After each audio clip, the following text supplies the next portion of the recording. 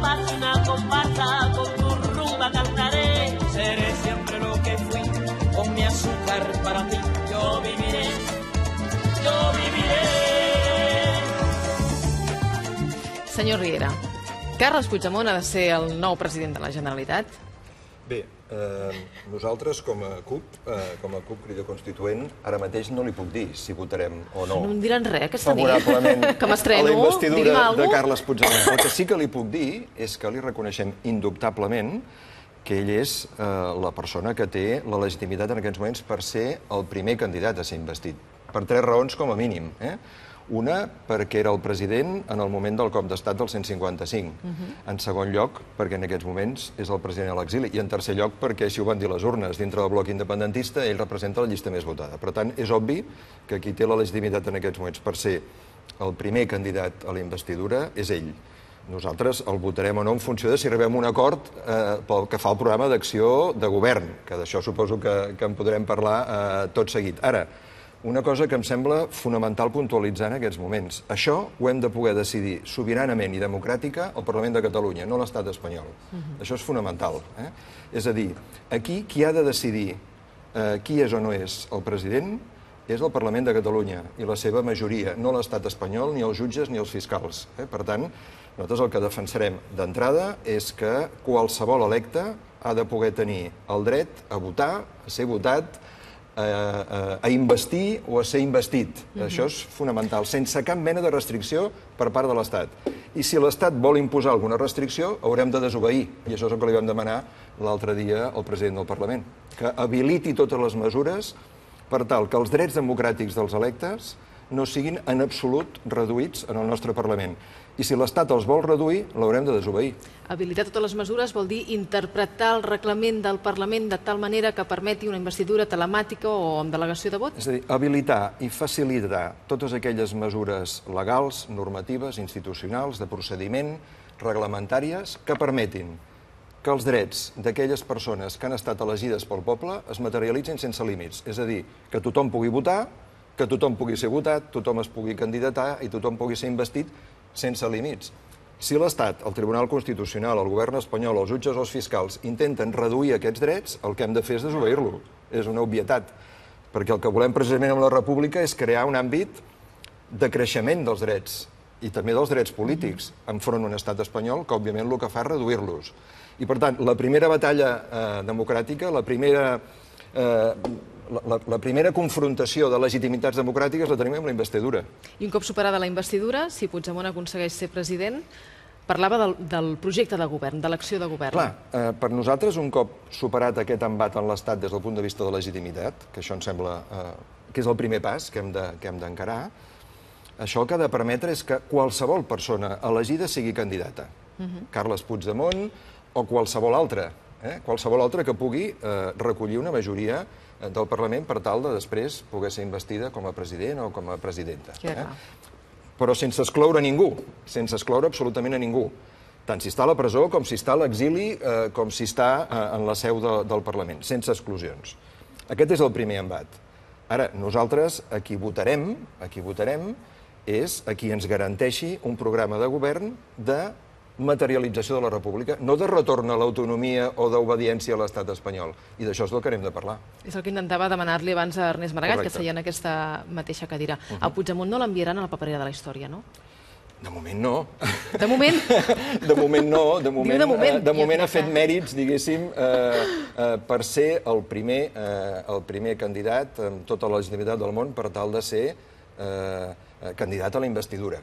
I, evidentment, que si ens posem d'acord eh, amb ell en un programa que nítidament, que indiscutiblement sigui de ruptura democràtica amb l'Estat, materialització de la república, que vol dir institucionalitat republicana, procés constituent, i també eh, un programa de govern que governi en favor de la majoria d'aquest país, de les classes populars, que ens permeti construir una república que sigui un salt endavant en drets socials, en drets econòmics per tothom, ens posarem d'acord. Donaran Però, com, tot això Com dèiem nosaltres, lo important no és el nom o la sigla, sinó el programa. sí, això, però això ho diuen molts, eh? Ara, el Molts que hem d'aconseguir això, que és, l'important no el que hem d'aconseguir és poder parlar del programa. I per poder parlar del programa hem de resoldre aquest conflicte democràtic amb l'Estat, que ningú sigui exclòs eh, que cap persona electa pel poble sigui exclosa de poder participar en plens drets polítics. Aquesta és la carta als Reis de la CUP. No és la carta als Reis, a mi em sembla un raonament totalment encertat. Uh, crec que són claríssims en dos aspectes que són fonamentals i que el Carles ho ha explicat perfectament. Uh, la CUP està compromesa, com no pot ser, entenem, de cap altra manera, de ningú que sigui veritablement demòcrata, de preservar els drets, defensar els drets d'aquells que hem estat escollits per la ciutadania, d'aquells que la ciutadania ens ha fet confiança. I, per tant, eh, és la defensa sense fissures de la possibilitat de, de presentació del seu pla de govern i la possibilitat de demanar la confiança del ple, eh, em sembla que coincidim al 100%. I és evident que eh, amb els vots de Junts per Catalunya i amb els vots d'Esquerra Republicana no arribem a, a tenir majoria absoluta. I per tant, i nosaltres ho hem defensat això des del primer dia, des de la mateixa nit de les eleccions. Aquesta és una victòria compartida i és una victòria compartida de tots tres projectes. Uh -huh. I no podem anar més enllà si no hi anem junts perquè només amb, la, amb els quatre grups parlamentaris és que assolim una majoria absoluta independentista. No, la és CUP que està tenim demanant- 70. ens estan demanant La- ruptura, la CUP, estan la demanant CUP ha sigut república. claríssima des de l'inici en la necessitat de, i de posar al mateix nivell, um, i, i disculpa'm si no faig servir les paraules correctes, No, no, ja. eh, el programa social, que la legitimitat del govern, i nosaltres ens hi sentim molt còmodes. De fet, segur que no, no, no afinarem perfectament eh, tot i que hi haurà discrepàncies polítiques, com també les hi ha dintre, del, dintre dels grups, però nosaltres no podem demanar ni a la CUP ni a ningú altre que voti la confiança que li dongui a un president i en un pla de govern en el qual ells no s'hi sentin còmodes. Nosaltres estem fent la nostra, la nostra reflexió interna i, i en aquest sentit jo entenc que, que seria millor que poguéssim anar més ràpid, però tots tenim els nostres timings, ells també tenen, tenen els seus, em sembla que tenen un Consell Polític el dia 27, per tant jo crec que des de- d'ara, però que ja hi estem treballant fins al 27, hem de poder compartir i hem de poder compartir què vol dir eh, fer república, què vol dir eh, governar per tothom, què vol dir defensar la igualtat dels ciutadans. I en algunes coses, a la passada legislatura es va voler avançar molt des del Parlament de Catalunya, que millor algú hagués volgut avançar més en una direcció i altres en una altra, però es va fer molta feina, i molta feina que molta, desgraciadament, no s'ha pogut aplicar. Doncs hem de veure com ho fem possible, hem de veure quins camins recorrem, i, i això ho hem de fer junts, amb tot el que hem après també en les darreres setmanes i en els darrers mesos. Però em sembla que el discurs eh, que fa Carles en nom de la CUP és del tot legítim en quant a, als drets del president Puigdemont d'anar a defensar el seu pla de govern i els drets, com no pot ser d'una altra manera, de la dignitat dels diputats de la CUP, d'exigir eh, que s'hi sentin còmodes com a mínim si han de votar que sí amb un pla de govern. El convenç?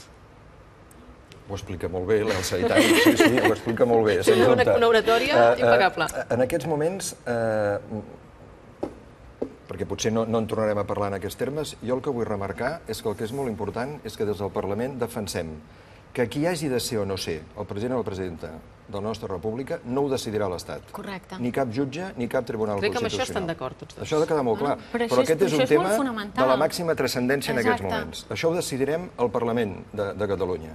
I si a l'Estat al Tribunal Constitucional no li agrada, eh, desobeirem i ho mantindrem. Això és molt important. Sigui qui sigui, eh? sigui qui sigui la persona elegida. Nosaltres, amb qui ens posem d'acord des del punt de vista de prova polític, si això és possible, sigui Carla Puigdemont o, o sigui un altre candidat o candidata, el que defensarem aleshores eh, a totes és eh, que la decisió sobirana del Parlament valgui, perquè això és el que ha volgut el nostre poble i el nostre país amb les seves, amb les seves votacions. El nostre país ha volgut un govern republicà, una mesa republicana i ha volgut república.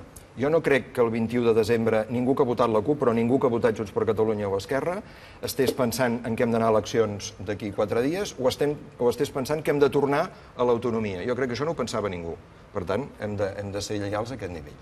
En aquests moments, amb el que estem veient i escoltant, o amb el que estem llegint, he de dir que estem més lluny que a prop de posar-nos d'acord des d'un punt de No vista d'un estan programa negociant, d'acció. aleshores, no estan parlant, no Tots just hem començat a parlar. Eh?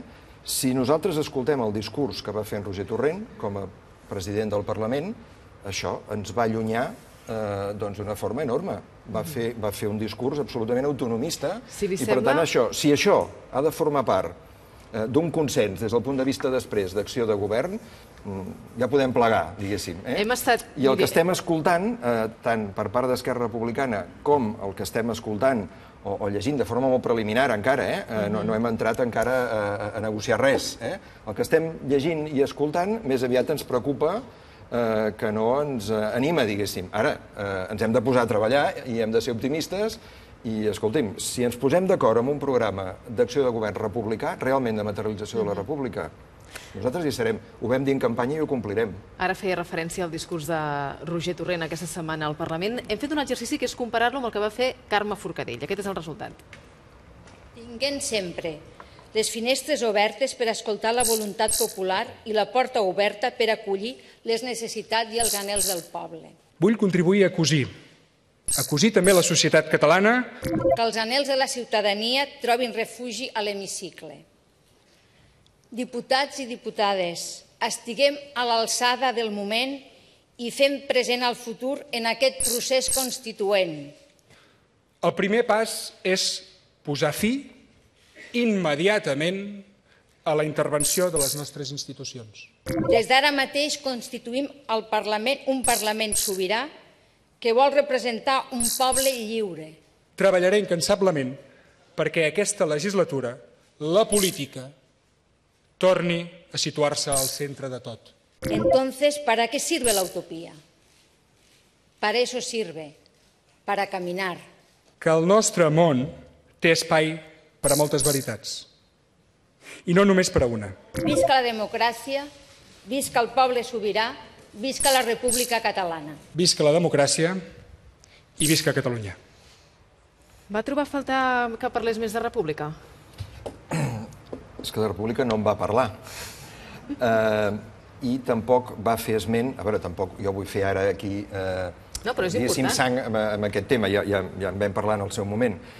Però que en cap moment es parlés de l'1 d'octubre o del 27 d'octubre, que per nosaltres són les fonts fonamentals de legitimitat. És a dir, l'1 d'octubre hi ha un referèndum democràtic sota repressió de l'Estat en què es vota que siguem un estat independent en forma de república. El 27 d'octubre el Parlament de Catalunya declara la independència i proclama la república. Hi ha un cop d'estat i, eh, evidentment, aquesta materialització republicana suspèn. Què hem de fer nosaltres eh, quan reprenem l'activitat? Aquella feina que vam deixar pendent pel cop d'estat, i nosaltres també pensem, i així ho critiquem i ho qüestionem, per la retirada del govern eh, de la Generalitat, que en aquell moment, en lloc d'estar a l'alçada de les circumstàncies i materialitzar república i posar-se al capdavant dels centenars de milers de persones que, al carrer estaven disposades a defensar la república, es van tirar enrere. Val. Però què hem de fer? Hem de materialitzar la república, és a dir, hem de reprendre aquella feina que el poble va deixar feta i enllestida i ben feta l'1 d'octubre i que el Parlament va deixar enllestida el 27 d'octubre. Aquesta és la feina que hem de fer. I jo crec que per això eh, eh, s'ha obtingut aquesta majoria republicana el 21 de desembre. Eh, no pas per tornar a un escenari d'autonomia, d'obediència constitucional i de pas enrere. Anant enrere, en aquests moments, reculant, no és veritat que agafarem forces per anar endavant. Anant enrere, el que tornarem és un escenari d'autonomia. Si I res més, i allà ens quedarem. Si anéssim a eleccions, si s'haguessin de repetir les eleccions, creuen que això és un o no, Déu meu? Jo crec que és un Home, objectiu al és- que no aspirem, perquè no és el que la gent va voler el Però per 21 què? de Perquè desembre. temen que perdrien aquesta majoria que tenen Depèn ara de no, com els no, s'hi no, arribi. És que depèn de com s'hi arribi, jo entenc. Uh, crec que no és l'objectiu, evident, perquè nosaltres considerem que l'independentisme ja va guanyar el 21 de desembre, per tant, anar a eleccions no és la voluntat uh, de, de la ciutadania, hem de, hem de seguir treballant i, i no passa per fer més eleccions, però és evident que depèn de com s'hi arribi. Uh, si tornem a patir un cop d'estat, si... Clar, és que el que no podem, el que no podem és descartar uh, cap escenari, perquè el que no podem tampoc ara és uh, dissenyar els 14 escenaris possibles d'atac i de repressió per part del govern espanyol i definir en cada cas què farem. Clar. No podem descartar res, Senyora perquè això Artadi. seria coartar la nostra llibertat com a electes del poble. Senyora Artadi, aquesta setmana hem vist unes imatges d'Alfredo Pérez Rubalcaba reunint-se amb Marta Pascal, una reunió gairebé clandestina, que es va filtrar amb una fotografia d'aquelles agafades de- d'amagat amb el mòbil. Ah, això què era? Era una conspiració del PDeCAT? Era fins i tot una traïció? Contra jo Puigdemont? entenc que el que és aquesta reunió és el que els protagonistes d'aquesta reunió han explicat, que va ser una trobada casual en un lloc a Madrid. Van coincidir em per casualitat al em mateix sembla bar. que ells han de ser els que han d'explicar. Jo no hi era i per tant no tinc per què donar explicacions del que fan altres persones i em sembla que ells ja han explicat el que és, però en qualsevol cas em sembla que els correspon amb ells i no a mi valorar reunions privades fortuites o no, que entenc que han sigut fortuites perquè ells mateixos ho han dit i no tinc eh, cap argument per dir que no ha sigut així, però em sembla que no em pertoca a mi Però li ha a valorar-ho. li ha sabut greu aquesta trobada. Ni m'ha sabut greu, ni no. Nosaltres eh, Però Marta Pascal saber- és dels seus, senyora Artadi. de... I s'està reunint amb Rubalcaba, que no és un senyor que passi pel carrer. Marta Pascal ens explica que s'ha trobat fortuitament, eh, casualment, en el senyor Rubalcaba i que hi han parlat. Em sembla que el diàleg forma part de l'estratègia compartida de tothom. Eh, no ens pot ofendre la reunió que pugui tenir la Marta Pascal amb en Rubalcaba, que, que repeteixo, si ella diu que és fortuita, és evident que nosaltres ho entenem així, però que si no hagués estat així, doncs, escolta'm, eh, es pot reunir amb qui cregui més oportú. No els fa sospitar de res. És que nosaltres el diàleg i parlar amb la gent és un tema que ens sembla que està bé. Per tant, no res a dir i, a més, repeteixo, qui ha de parlar a aquesta reunió és ella i no jo, que no hi era. Semblaria una falta de respecte per part nostra. Coneixen a Pilar Rahola, suposo? I tant. doncs Pilar Rahola, endavant, com vulguis. Endavant. Benvinguda. Pots seure, si vols, en la cadira. eh? Moltes gràcies. No, a més a més, ho fas tan bé que sembla que no Ah, sigui que el teu sí? primer dia, diguem, eh? Doncs sí que ho és, sí. Molt bé, molt Seu, bé. seu, Pilar. Em sé que la teva... Ui, Estàs segura? Sí. No sé si és bo, això. A veure, dispara, Pilar. bueno, eh, la veritat és que a mi, jo crec que hi ha molta feina a fer entre vosaltres dos, sense cap mena de dubtes, però és una feina ex eh, extraordinària, és feina política. És a dir, s'ha de llimar diferències, s'han de trobar consensos, s'ha de trobar territori comú, però el que és fonamental, que és el que plantejàveu, de que la sobirania eh, rau en el Parlament de Catalunya, i les decisions del Parlament de Catalunya són les sobiranes per respecte a Catalunya, jo crec que és el, punt de partida fonamental. A mi em sembla que estem parlant clarament de la investidura de la restitució. O sigui, hi ha una cosa que no la podem oblidar de cap manera, i és que nosaltres teníem un govern, teníem un president, hi va haver un cop d'estat que va usurpar-nos les nostres institucions, les va ocupar en el pitjor, en el, de la pitjor manera possible, ha pres decisions quan estàvem en la situació eh, amb el cap cot i amb la bota amunt, eh, ha menyspreat aquestes mateixes institucions i ara vol decidir qui serà president de la Generalitat quan, quan el, partit, el partit que vol decidir-ho ha quedat com el cul, diguem-ne, en el Parlament de Catalunya perquè ha quedat l'últim. Home, és que ho hem de recordar, això, eh? És a dir, tu portes, tu fas el 155 a Catalunya, t'embasteixes del poder de l'Estado, vinga, els constitucionals, el rei, el no sé què, tot Déu, i després resulta que en el país en el qual l'has de salvar de si mateix, perquè Rajoy ens ha de salvar de nosaltres mateixos, no et vota pràcticament ningú. O els que et voten són quatre gats, perquè acabes quedant-te al final de tot, de la, de la, del Parlament. Per tant, és la, és, la, eh, és la investidura de la restitució. I ja una cosa que no sé si l'heu dit prou, però permeteu-me que la digui. A on jo repto, bueno, humilment perquè no em fotrà ni cas, però jo repto... O potser als- sí, no, potser no, jo repto al senyor Rajoy Ah, bueno, si el que em digui... Oh, no, no, no, o sigui que, mira, aniré més enllà. Reto el, el, el, el lletrat en cap del Parlament de Catalunya que em digui en quin apartat del reglament de Catalunya diu que no es pot delegar el discurs de la investidura. A on? Perquè també s'han de dir les coses clares. La primera, que em sembla que és important, els lletrats a vegades són més papistes que el papa, ningú els hi va demanar eh, un informe. Segona, darrerament els informes que fan, caram, tu, ens fan patir una mica, eh? Però és que tercera, jo diria que qualsevol, si hi ha algun advocat aquí o algú, diguem-ne, qui entengui, eh, els reglaments no són interpretables. Els reglaments, les normes, prohibeixen o permeten. I el que no està prohibit està permès. Per tant, quan el senyor Rajoy amenaça per terra, mar i aire i per totes les teles i canals del món de que ho portarà al Constitucional, amb quina base? Amb quina base aconseguirà que, per exemple, el president delegui el seu discurs amb un altre diputat, amb l'Elsa mateix o amb algú altre que decideixi? És més, no, no puc precisar-ho perquè ho he de buscar, però fa, em poso deures. Però si no m'equivoco, en la moció de censura de Maragall a Pujol, el discurs de Pujol el va llegir Mas, en Pujol sentat allà. I no sé si m'equivoco que Nadal va llegir el discurs de president del Maragall. O sigui, hi ha un Per tant, hi ha- hi ha precedents, hi hauria hi ha precedents. precedent. Clar, aleshores dius, a veure, si el reglament no prohibeix explícit... Els reglaments són així. Escolti'm, això no pot fer-ho.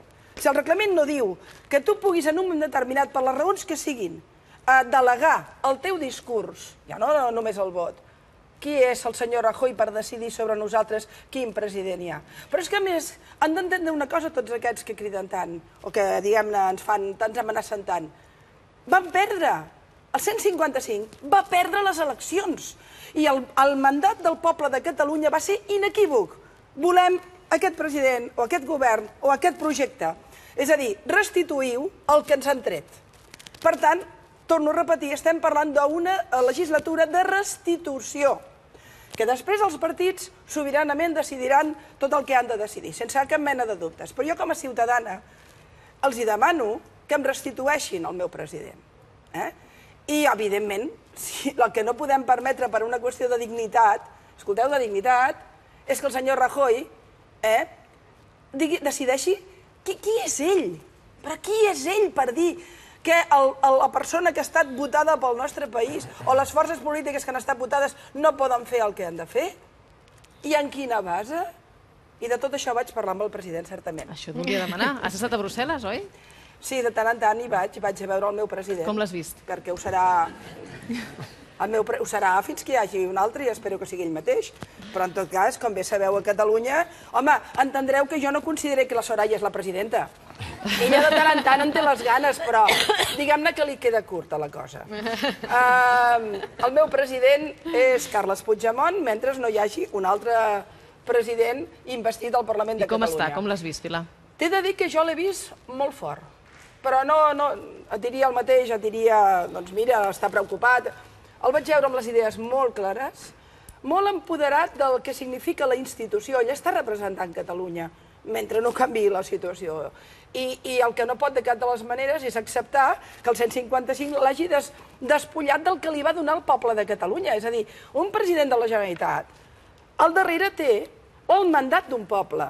I el que no pot ser de cap manera és que vingui un senyor de l'altra banda, al qual el poble català no li ha donat uh, la, seva, la seva vènia, i el despulli d'aquesta institucionalitat. Per tant, té molt clar que ell s'ha de presentar la investidura perquè creu que estem parlant d'una investidura de restitució. Té molt clar, molt clar, pel que vaig veure, que hi ha un treball a fer important en les tres forces polítiques, Uh, però això ja forma part de la, del bon, de la bona història de la política, que és que ens deixin fer política. I ens barallarem, ja, ja, ja s'ho trobaran, ja faran amunt i avall, ens, els de la CUP ens faran patir, o els d'Esquerra, o, els o potser ells, no ho sé, no ho sé. Però, mm, però el que sí que tinc molt clar és que el poble de Catalunya, en aquest, eh, en aquest senyor, en aquesta senyora, i el senyor que se n'ha anat fa un moment, els hi ha donat un mandat. I aquest és el de la restitució. I creus, i té clar anar a Dinamarca dilluns, Puigdemont? Sí, sí, sí. Ho sí. té clar, i anirà. Tot i els riscos, senyor Artadi, jo- que hi són, eh? Sí que hi anirà. Ell Qui té anirà? clar, home, té una invitació de la Universitat de Copenhague i a més també té una invitació dels diputats del Parlament. Per tant, en conseqüència, ell té molt clar, escolta'm, i si l'Espanya fa alguna bestiesa ja s'ho trobaran. Potser tindran un altre ridícul a, a Dinamarca. Podria passar, eh? Eh, Anem de, anem de ridícul en ridícul, perquè si Bèlgica té, és molt solvent amb els drets civils i amb els drets humans, Dinamarca, poca broma, eh? I he de dir una cosa que és important. Hi ha molt neguit, molt neguit, cada vegada més a Europa, amb la barbaritat dels presos polítics a Catalunya, eh? Molt neguit. Recomano molt als que gasteu una mica l'anglès, l'editorial del Financial Times de l'altre dia, que li deien al Consell d'Europa, eh, com podeu renyar a Hongria i a Polònia si no té presos polítiques, perquè no parleu de- d'Espanya. Eh? Pilar, Per frena tant, un moment perquè Besteiro ja no li caben més notes a la llibreta. Dispara. Les passaràs al ministre, Daniel, o te les quedaràs? No, no ho conec personalment, però... Eh, Al final parlaràs català, ho aconseguirem. ho Sí, sí, estic- ho està fent, eh? Ho està Està la fent, classe, molt però bé, molt bé. L'adoptarem. Fins i tot el convencerem. He de fer-ho en, en castellà. Eh, eh, Pilar, después es tan bien y con tanta gracia que, que, que me... ¡Que te convenzo! Que me resulta, que me resulta difícil rebatirte, porque la verdad es que, que- que da gusto escucharte. Pero te digo una cosa, si te hubiera leído eh, esto que has dicho hoy, me hubiera entrado un miedo tremendo. ¿Por Eh, qué? Por ejemplo, has dicho, eh, que al Partido Popular le han votado cuatro gatos y ha quedado como el culo. ¿Lo has dicho así? No, ha quedado en el culo del Parlamento. Como el Es culo. diferent. Uy, perdón. ¿Ves, No, però... ves cómo mi catalán no es tan bueno? ¿eh? No, no, pero- Eh, pero has dicho que ha quedado... Es cierto, ha, ha quedado muy mal de 10 a 4 diputados. Claro, los que ha perdido la CUP. Es decir, aquí está sentado el, el cabeza de lista para la presidencia de la Generalitat em, de un partido que ha perdido los mismos eh, votos más o menos, creo que está un poquito menos del 4,5% de los votos, eh, prácticamente como el Partido Popular, con lo cual yo no sé si tú podrías decirle eso al, al señor ¿Sabes Riera que está no? aquí al lado. ¿Sabes por es decir, no? también hay que tener un poco de respeto por el adversario político, sea cual sea. ¿no? Después dice usted, Dinamarca o dices tú, eh, si me permites, eh, Dinamarca, poca broma con los derechos humanos. Es verdad, es una de las democracias más avanzadas del mundo, con todas las, las nórdicas. Hay un estudio de Freedom House, además, muy reciente que lo dice, y es sabido por todos. ¿no? ¿Sabes cuál es, cómo se castiga el intento de separar una parte del Estado danés de Dinamarca? Hasta con cadena perpetua. Vols que t'ho respongui, això? Por supuesto. Saps que les Illes Feroe... Saps que les Illes Feroe van, de, van dir que volien resoldre la seva situació política i el govern danès el- els hi ha dit doncs feu un referèndum i si el guanyeu endavant? Sabies això? Sabies que Groenlàndia té fins i tot capacitat d'administrar les seves pròpies energies? Dir, t'imagines aquí si tinguéssim petroli administrant-les nosaltres? Bueno, el Montoro aniria de bòlit. Conozco, Vull dir-te que... conozco pocos Ah. estados más descentralizados No, que España, no, por no, otra parte. eh, ¿eh? hi ha una cosa de- que podemos, esto es un debate muy amplio. no, no, tu, no l'has si- obert, tu l'has obert. Por supuesto, adelante. Daniel, eh, heu d'entendre una cosa que jo em sembla que és important ara amb independència de, de que... Ah, m'has preguntat lo de la CUP. Que pots entendre... Eh, ¿Tú crees que los que han votado la- a, la, a la CUP son cuatro gatos y no, están en el culo perquè, del Parlamento? no, ¿Lo et diré per què. Et diré per què. Perquè el meu menyspreu és cap al partit que heu posat a la meva gent a la presó i ha enviat Clar. la meva gent a l'exili. Eh? És a dir, Con lo cual, unos representados tienen derecho a ser más respetados que otros. No, no, jo que no sóc, a mi que no m'han de votar i no represento ningú més que a No, mi pero digo, mateixa i a los vegades a ma representados mare. de la CUP tienen más derecho a ser eh, respetados no, no, no, que no los representados entès. del Partido Popular. No m'has entès, Daniel. Puede si ser. això li preguntessis a un diputat, probablement té molt més recorregut. Jo sóc una descarada. Què vols que et digui?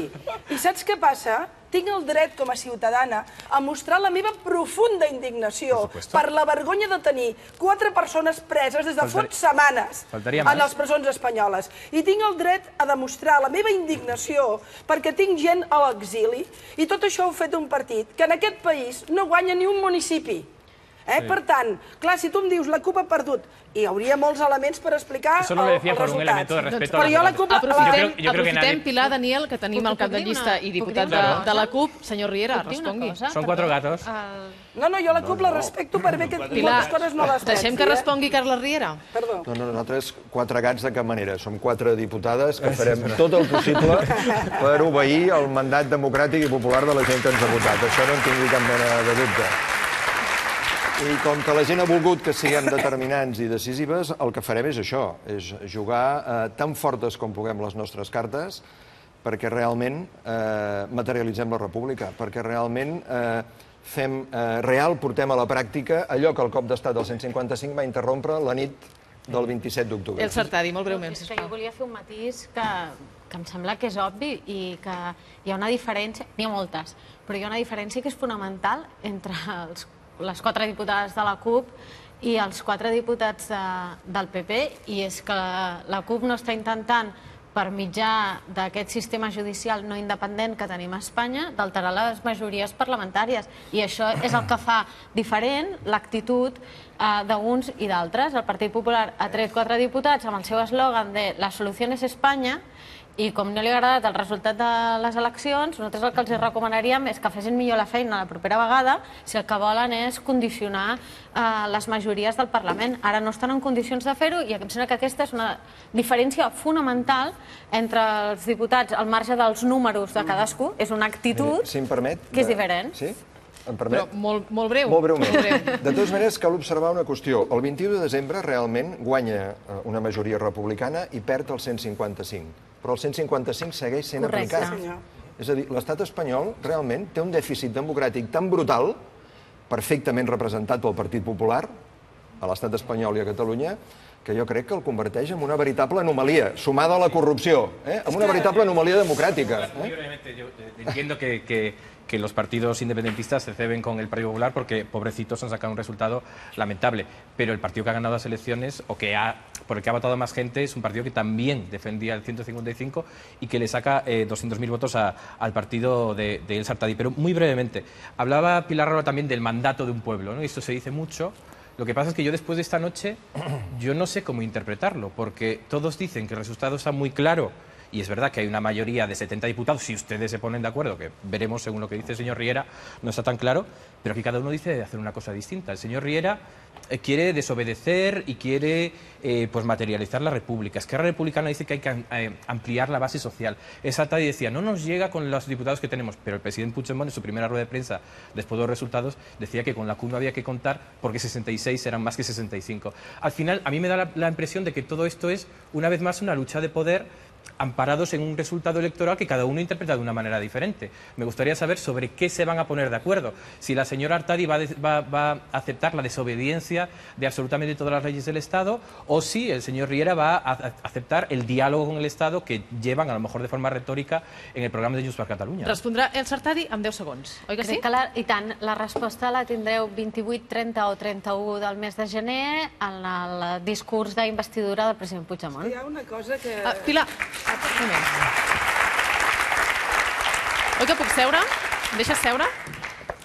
Hi ha el Maiol Roger. Hola, Maiol. Hola, què tal? Com Com estàs? estàs? I tu? Com que a la Pilar sempre li agrada apuntillar tant, no? És sempre tan crítica amb tot. Tu com la criticaries avui, la Pilar? Ah, no val Home, això, per- eh? home, No, per què no? Estàs a la meva cadira, Pilar. Per començar, ha dit, jo, jo li vull llançar un repte a Mariano Rajoy. Ha, ha començat forta, sí, eh? i algú li ha dit, ah, diu, bueno, doncs a un lletrat del Parlament. Aviam, entre Mariano No, Rajoy i un lletrat del Parlament hi ha una diferència... Però he posat l'adjectiu humil que queda molt bé.